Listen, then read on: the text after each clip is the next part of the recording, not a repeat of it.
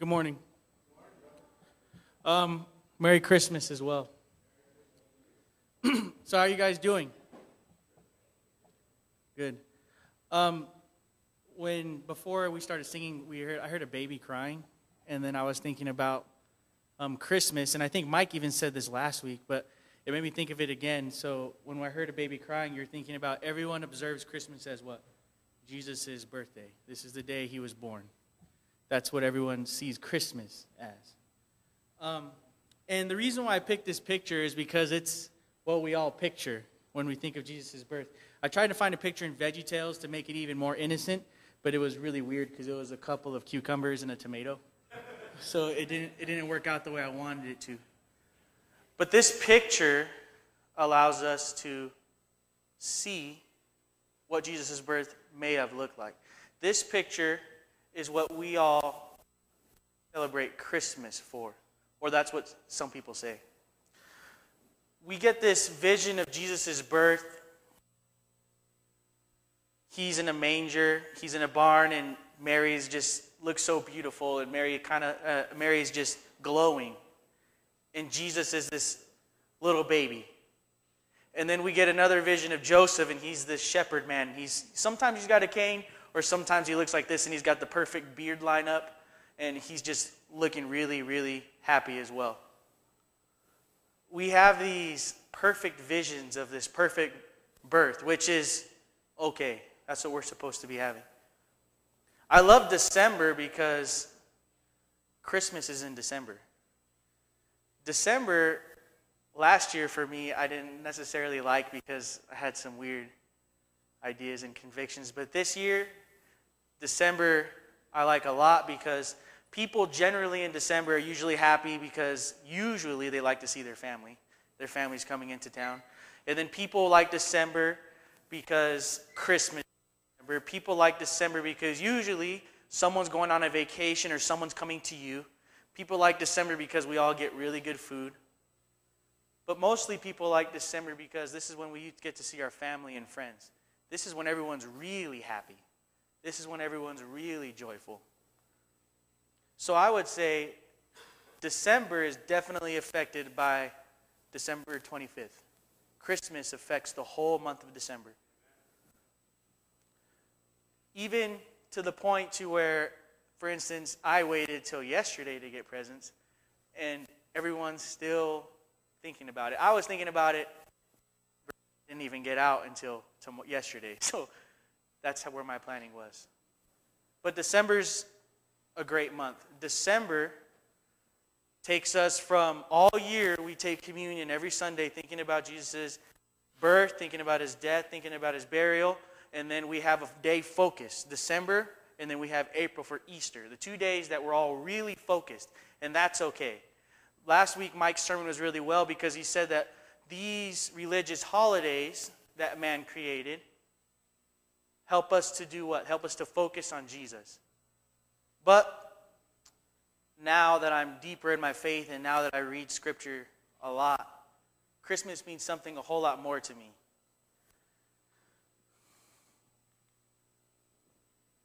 Isaiah 53 is where we're going to be at, and we're going to hop around. So if you guys would like to get a, a Bible out, Isaiah 53 is Isaiah is a prophet, and he's receiving these visions from God, and He's given us a prophecy here. This is what Christmas is all about. Isaiah 53 3 says, He is despised and rejected by man, a man of sorrows, acquainted with grief. And we hid, as it were, our faces from him. He was despised, and we not, did not esteem him. So we go from this vision of we see this perfect baby being brought into the world. There's a star in the sky. You have wise men coming. You have Mary, who was a virgin that gave birth to a child, but this child was born for the fulfillment of these prophecies the fulfillment of he was despised and rejected by us. Verse 5 says, But he was wounded for our transgressions, he was bruised for our iniquities. The chastisement for our peace was upon him, and by his stripes we are healed. He was wounded for our transgressions this image that we have of Christmas is it's beautiful. I'm not I'm not saying it's a bad image. But I think sometimes we get stuck on Jesus in the manger as a baby, and that baby was brought into this world for this purpose. Jesus was brought into this world for the purpose of taking on our transgressions. He was wounded for our transgressions. He was bruised for our iniquities. The chastisement for our peace was upon him, for our peace, not his. That innocent baby that we see in these drawings of Christmas is why we come here today. Because he was brought here to be that perfect sacrifice.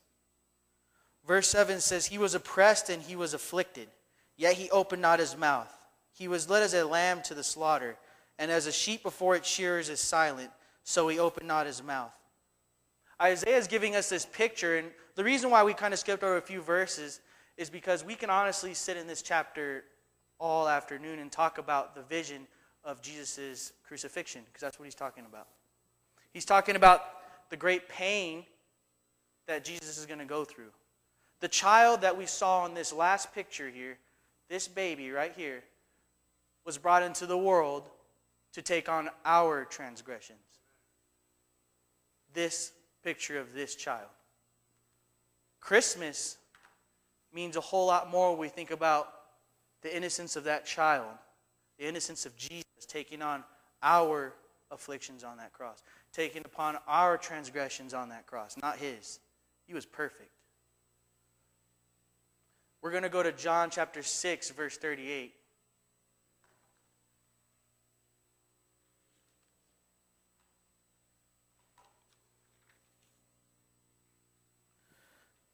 His purpose was to do the will of his Father. What this verse says is, For I have come down from heaven not to do my own will, but the will of him who sent me. Jesus was born to fulfill his Father's will.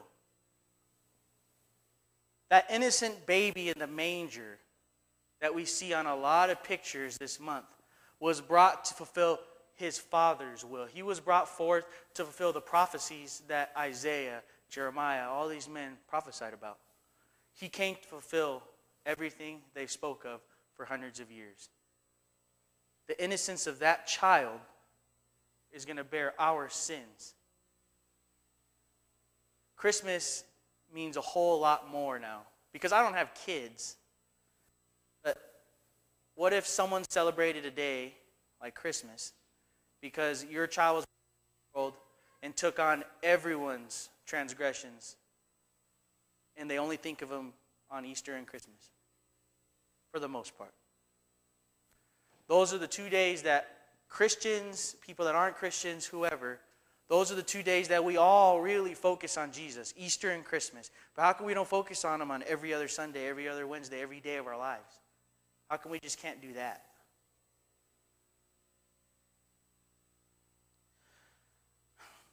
I didn't really want to, um, I wasn't sure where I was going to go, but John 18 is one of my favorite passages.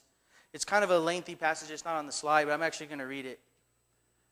The reason why I like John 18, 38, um, and we're going to go a little bit into chapter 19, is because it gives the perfect illustration, because it's found in Scripture, of Jesus' crucifixion, of his crucifixion on that cross. Verse 38 says, Pilate said to him, What is the truth? And when he said this, he went out again to the Jews and said to them, I find no fault in him. Verse 38, Pilate is saying, I find no fault. A man of the world is saying, I find no fault in this man that you want to crucify. This baby we saw in this last picture was brought before the Roman Empire by his own people to be crucified for whose transgressions? Our transgressions. The world even recognized there was no fault in him.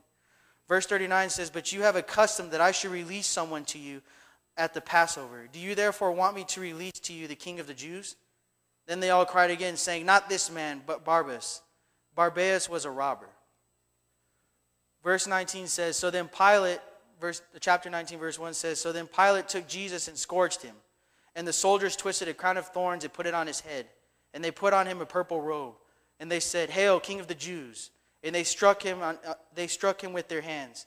Pilate then went out again and said to them, Behold, I am bringing him out to you, that you may know that I find no fault in him. So they scourge him and they humiliate him. They put a purple robe on him because that's a color of royalty after they put a crown of thorns on his head. This same baby that we saw a picture of is going through this same account that we're reading of. Verse 5 says, Then Jesus came out wearing the crown of thorns and the purple robe, and Pilate said to them, Behold the man. Therefore, when the chief priests and officers saw him, they cried out, saying, Crucify him, crucify him. Pilate said to them, You take him and crucify him, for I find no fault. Then the Jews answered him, saying, We have a law, and according to our law, he ought to die, because he made himself the Son of God. They're saying, Crucify him, crucify him. This same innocent baby we saw a picture of. And then after they say, Crucify him, Pilate says, You do it yourself, because I find no fault. And then the Jews dare to say, He made himself to be a, a man of God, to be a child of God. So that is our law we're crucifying him by this same picture of the same baby. It's kind of odd when I actually thought about it because for some reason in my mind I had almost like a roadblock. I always kind of differentiated the child of Jesus and the crucified Jesus when he's still the same man. That perfect baby that we come together in December about is that perfect man who died on the cross for our sins.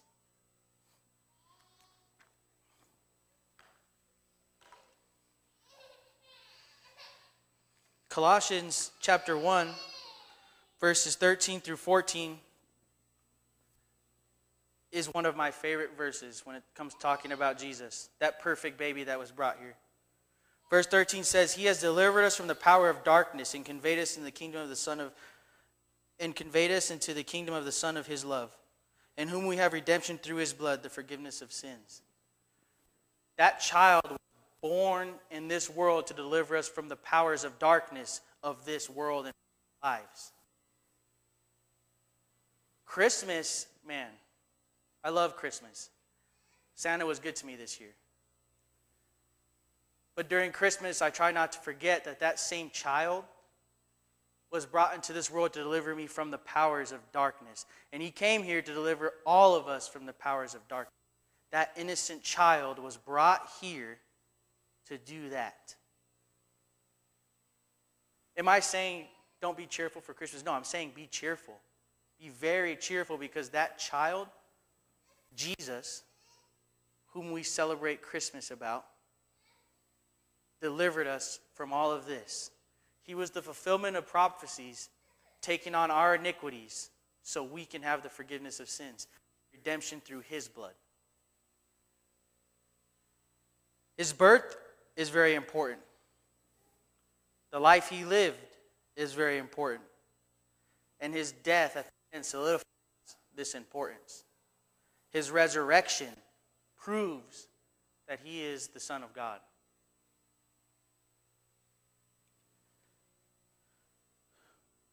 When I think of Christmas, I'm going to paint the picture one more time. But when I think of Christmas, I think my mom used to put like um, like little like glass. You ever seen those glass houses that they put like on fake snow and they're like always on the chimney or in the most random spot in the house? It's like a little village.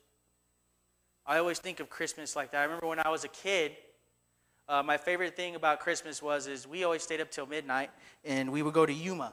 And my mom's and my dad's families both lived there. So I knew that I'd be able to stay up all night and I'd be able to see all of my cousins. So I knew that in the middle of the day, we go to my dad's mom's house. We would be with her till about 11 or 12 and we'd open presents. Then we'd go to my mom's mom's house and we go there and open Christmas presents. And then on top of that, my cousins had cousins behind my grandma's house. So sometimes we'd walk around and go open presents with them and I'm not even part of their family.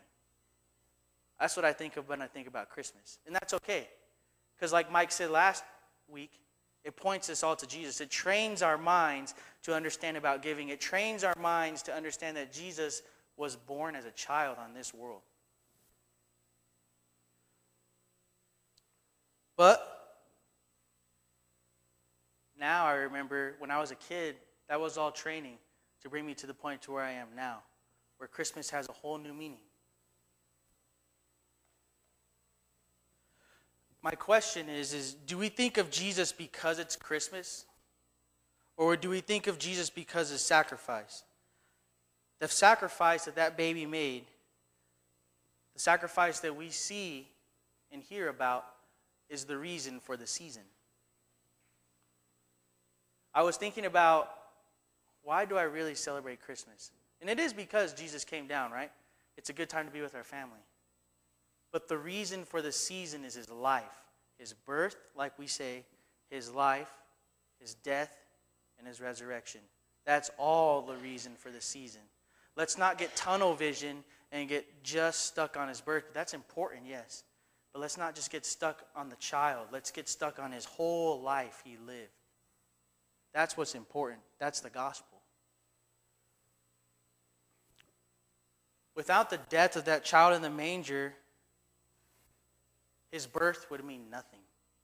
If Jesus was born, like most, all babies are born innocent, they're all beautiful. But if Jesus was born and he did not die and was not resurrected, would he just be another child? Yes. But he was definitely born, he lived, he died, and was resurrected. So he is the Son of God. Christmas is such the perfect story of the perfect Savior. He was born from a virgin, which is a miracle already before he even came. And then he lived, performed miracles. He died for our transgressions and he was risen again. I don't know a person that is literally risen from the dead. I know people that might have been brought back to life by a defibrillator, I think they're called. But I've never known anyone that's been dead for a whole day and be resurrected the next day. I don't know anyone that's like that. Jesus is the perfect example of a perfect sacrifice. When we celebrate Christmas, like last night, we opened up all our presents. And man, that was the best feeling in the world, feeling all that love because it's Christmas. And right now, most of us are happy. We're, we're really joyful to be around each other, we're real happy to be with each other. But let's not just do it because it's Christmas. How come we don't have the same mindset every single day? Christmas is the greatest, one of the greatest holidays for me because that's the time when most people don't argue. That's the time when most of us come together. So I would like to challenge you guys in saying, why don't we pretend to start with baby steps? Let's pretend that every Sunday is Christmas. Let's continue to go forward, remembering that child that was brought into this world, that was the perfect sacrifice. I really enjoyed Mike's sermon, and that's what made me think about this last week. I really enjoyed it because everything Mike was saying was so true. Christmas is to train us, to point us to Jesus. Everything he was saying was so true. And I loved that sermon.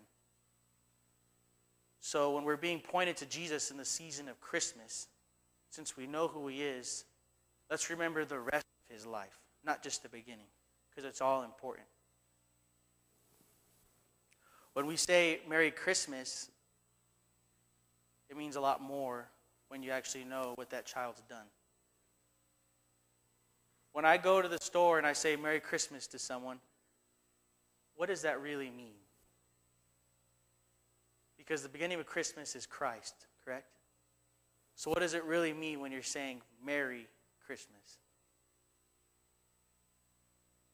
Right now is a season of giving. Right now is a season of joy. Right now is a season of happiness. Right now is a season of family. Right now is a season of friends.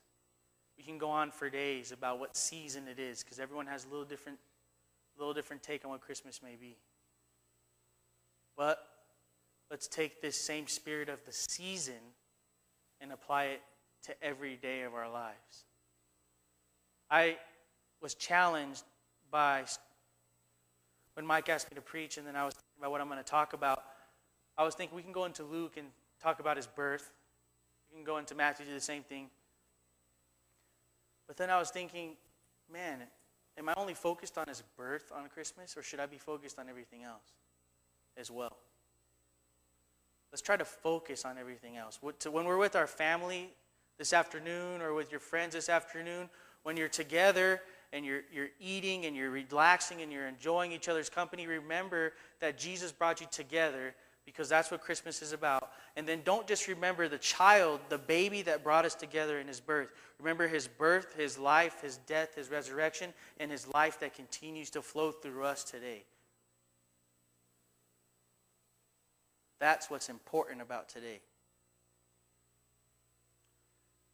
if you want, when you go home, if you have time, I would encourage you to read John 18 and 19 and learn about his crucifixion. I would even encourage you to read the whole chapter of Isaiah 53. I would even encourage you to read Colossians. I would encourage you to read the whole Bible today, but you can't. But if you can, remember the sacrifice that Jesus, that same child that we celebrate today, made as a man and as a perfect Savior for us. It's important. It's important that we don't forget, and it's important that we always, always practice to be like this every day. One thing that Mike, I think, has taught me, and I, I think he's taught all of us, is, um, is every day you're worshiping God. Every day your life is a worship to God. Every day your life is almost a, it, not almost, it is a sacrifice unto God. Every moment of your day, you shouldn't be not thinking about Him. So if we're honestly thinking about Him all the time, every day should be Christmas to us.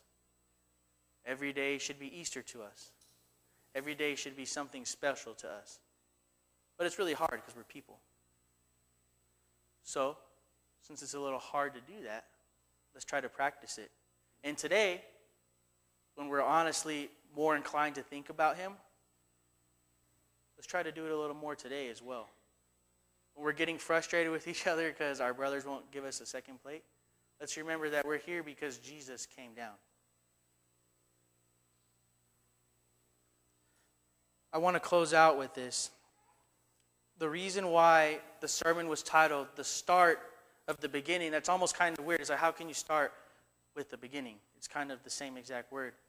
But the reason why it's the start of the beginning is because Jesus' birth was the start of the beginning of our salvation. His birth, Jesus being brought into that into this world was the start of the end of the law and the beginning of our salvation through him. That same child we celebrate was the start of our salvation. He was the start of the fulfillment of prophecy. And now we have all been delivered from darkness. And now we are all here today, worshiping and celebrating with each other, having fun. We're all going to go in different ways and eat and be happy. But let's really, really try to live this out every single day. Because I don't think any of us can afford to give each other gifts every single day. But what gift can I give my roommates? I can give them the peace. I can give them the peace, the gift of happiness. I can give them the gift of joy. I can give them the gift of love. I can give my mom the gift of time and actually call her more. We can't always give physical things, but we can definitely give spiritual things. I can give more time to people just like I do on Christmas every single day. I can eat with my roommates every single day like we do Christmas Eve and Christmas morning. I can sit and watch TV with my family or my roommates or my friends just like I do on Christmas Eve every single day. If we know what Christmas is about, let's apply it every single day. Let's be happy that He was born. And since we really have that joy, since we really have that hope, let's live it out. Let's live it out. I'm going to go ahead and we're going to pray out. But remember, Jesus' birth was the start of the beginning to our salvation. Jesus' birth was the start of the end of the law for us. So live under grace. Um, we're going to pray, and then um, I think Skylar's going to lead a song. Let us together pray. Our Father in heaven, we like to come to you in, in prayer, thanking you for allowing your Son to come down and be born and to live a life perfect and blameless, to be a perfect sacrifice for us. I pray that throughout the rest of our day that we continue to focus on you, Father, even more so today because the whole world is focusing on you right now, God, and your Son. I pray that the rest of our, our week, at least, Father, we can just try to reflect every single day like it's Christmas. I pray that the rest of our week we just try, try to give more of ourselves to people. I pray that our day will be eventful. I pray that our day will be full of happiness. I pray that people who couldn't make it here today because they're with their families, I pray they really enjoy it, Father, and I pray that they all come closer together as a family and they just learn to appreciate each other's time. And in Jesus Christ's name, I pray this prayer. Amen.